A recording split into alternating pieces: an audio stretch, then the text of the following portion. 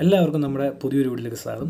ഇന്നത്തെ വീട്ടിലൂടെ നമ്മൾ പറയാൻ പോകുന്നത് ഇരുപതിനായിരം രൂപയ്ക്ക് മുകളിൽ വിലയോടുകൂടി വിറ്റുപോയ നമ്മുടെ ഒരു ഇന്ത്യൻ നാണയമാണ്. പത്ത് രൂപ നാണയം രണ്ടായിരത്തി അഞ്ചിൽ ഇറങ്ങിയ ഒരു പത്ത് രൂപ നാണയമാണ് നമ്മൾ ഇന്നത്തെ വീട്ടിലൂടെ പറയാൻ പോകുന്നത്. അത് എന്തുകൊണ്ടാണ് അങ്ങനെ ഉണ്ടായി എന്നതിനെക്കുറിച്ചാണ് പറയാൻ പോകുന്നത്. നമ്മളിപ്പോൾ ഈ കണ്ടുകൊണ്ടിരിക്കുന്നതും നമ്മുടെ നോർമൽ നാണയമാണ്. നമുക്കറിയാം നോർമൽ പത്ത് രൂപ കോയിൻ എന്ന് പറയുമ്പോൾ അതിന്റെ രണ്ട് മെറ്റൽ ബൈ മെറ്റലാണ് അതിനകത്ത് നിക്കലും ബ്രോൺസും ആണ് യൂസ് ചെയ്തേക്കുന്നത് നമുക്ക് കാണാം ഗോൾഡൻ കളറും ഉണ്ട് നടുക്കൊരു സിൽവർ കളറും ഉണ്ട്. അങ്ങനെയാണ് നോർമലി പത്ത് രൂപ നാണയങ്ങൾ പുറത്തിറങ്ങിക്കൊണ്ടിരിക്കുന്നത്. എന്നാൽ നമുക്കിവിടെ ഈ വിറ്റ് പോയത് അതായത് ഞാൻ പറഞ്ഞ ഇരുപതിനായിരം രൂപയ്ക്ക് വിറ്റ് പോയത് അത് ഈ കോയിൻ അല്ല അത് ഏത് കോയിനാണ് എന്നതിനെ കുറിച്ചാണ് നമ്മൾ ഇനി പറയാൻ പോകുന്നത്. അതിനു മുമ്പ് നമ്മളൊരു കാര്യം അറിഞ്ഞിരിക്കണം ഇതിന് എന്തുകൊണ്ടാണ് ഇത്രയും വില വന്നതിനെക്കുറിച്ചും നമ്മൾ ഇതിനകത്ത് പറയുന്നുണ്ട് വിശദമായി പറയുന്നുണ്ട് വീഡിയോ മുഴുവൻ കാണണം ആദ്യമായിട്ട് കാണുന്നതുകൊണ്ട് ചാനലിന് സബ്സ്ക്രൈബ് ചെയ്യണം. അപ്പോൾ നമുക്ക് പറയാം ഈ ഒരു കോയിനാണ് ഞാൻ പറഞ്ഞ പോലെ ഇരുപതിനായിരം രൂപയ്ക്ക് മുകളിൽ വിറ്റ് പോയത് ഒരു ലേലത്തിൽ വിറ്റ് പോയത് അതിനു മുമ്പ് പലരും ആദ്യമായിട്ടായിരിക്കും ഇങ്ങനൊരു പേര് കേൾക്കുന്നത് O M S off metal strike. അത് വളരെ നിസ്സാരമായിട്ട് നമുക്ക് പറയാൻ സാധിക്കും. അതായത് ഒരു കോയിൻ നോർമൽ ഉണ്ടായി വരുന്ന മെറ്റലിൽ നിന്നും മാറി വേറൊരു മെറ്റലിൽ ആയി വരിക. അങ്ങനെ ഒരു എറർ സംഭവിക്കുന്നു. അങ്ങനെ വരുന്ന കോയിൻസിന് പൊതുവേ ഇങ്ങനെയുള്ള മാർക്കറ്റുകൾ ഉണ്ടാകാറുണ്ട്. ഇതിപ്പം സാധാരണ നോർമൽ പത്ത് രൂപ കോയിൻ ഇറങ്ങേണ്ടതെന്ന് പറഞ്ഞാൽ രണ്ട് മെറ്റൽ ബൈ മെറ്റലായിട്ടാണ് ഇറങ്ങേണ്ടത്. പക്ഷേ ഇവിടെ ഇത് കോപ്പർ നിക്കൽ മെറ്റലിൽ ഈ കോയിൻ ഇറങ്ങി. അങ്ങനെ ഇറങ്ങിയ കോയിൻ വളരെ റയറായിരുന്നു അത് കളക്ഷൻ ചെയ്യുന്നവർക്ക് ഇതുപോലുള്ള കോയിൻ കളക്ഷൻ ചെയ്യുന്നവർക്ക് വളരെ താല്പര്യമുള്ള ഇതായതുകൊണ്ട് തന്നെ പ്രമുഖ ഓൺലൈൻ സൈറ്റുകളിൽ ഇതിന്റെ ലേലം നടത്തിയിരുന്നു കുറച്ച് നാൾ മുമ്പാണ്.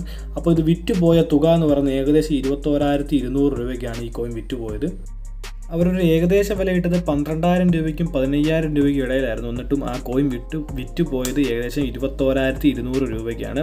നമുക്ക് സെർച്ച് ചെയ്ത് നോക്കി. ഈ കോയിനെക്കുറിച്ചുള്ള കാര്യം ഈ കോയിനെക്കുറിച്ച് ഈ ഇതിന്റെ വർഷം വെച്ച് നമ്മൾ സെർച്ച് ചെയ്ത് നോക്കി കഴിഞ്ഞാൽ കാണാൻ സാധിക്കും ഏത് സൈറ്റിലാണ് ഇത് വിറ്റ് പോയത് എന്നതിനെ കുറിച്ചൊക്കെ അറിയാൻ പറ്റും. ഇതുപോലെയുള്ള പല നാണയങ്ങളും ഈ ഓഫ് ഒ എം എസ് അതായത് ഓഫ് മെറ്റൽ സ്ട്രൈക്ക് സംഭവിച്ച പല നാണയങ്ങളും ഇതുപോലെ ഉയർന്ന തുക തുകകൾക്ക് തന്നെ വിറ്റ് പോയിട്ടുണ്ട് നമുക്ക് നെറ്റിൽ സെർച്ച് ചെയ്ത് അറിയാൻ പറ്റും. നമ്മളിത് ഇങ്ങനൊരു വിഭാഗം കളക്ഷനും കൂടി ഉണ്ടെന്ന് അറിയിക്കാൻ വേണ്ടിയാണ് നിങ്ങളെ ഇന്നത്തെ വീഡിയോയിലൂടെ ഞാനിത് പരിചയപ്പെടുത്തിയത്.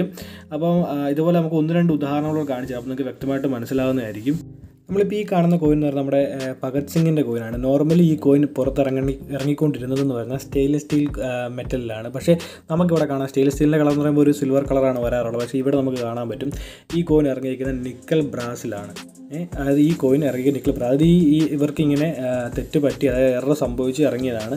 അപ്പോൾ ഇങ്ങനെയുള്ള കോയിനുകളെയാണ് നമ്മൾ off metal coins off metal strike O M S coins എന്ന് പറയാറുള്ളത്. അതുപോലെ തന്നെ മറ്റൊരു ഉദാഹരണമാണ് നമ്മൾ ഈ കണ്ടുകൊണ്ടിരിക്കുന്ന അഞ്ച് രൂപ നാണയം നോർമൽ അഞ്ച് രൂപ നാണയമാണ്. നമുക്കറിയാം ഈ ഒരു ഈ ഒരു ടൈപ്പ് അഞ്ച് രൂപ നാണയങ്ങളുടെ കളർ എന്ന് പറയുന്നത് ഏകദേശം ഗോൾഡൻ കളറാണ് അപ്പോൾ അത് നിക്കൽ ബ്രാസ് മെറ്റലിലാണ് കോയിൻ ഇറങ്ങിക്കൊണ്ടിരിക്കുന്നത്. പക്ഷേ ഇവിടെ ഈ കോയിന് സ്റ്റെയിൻലെസ് സ്റ്റീൽ കോയിൻസിൽ അതായത് സ്റ്റെയിൻലെസ് സ്റ്റീൽ മെറ്റലിൽ ഇറങ്ങി.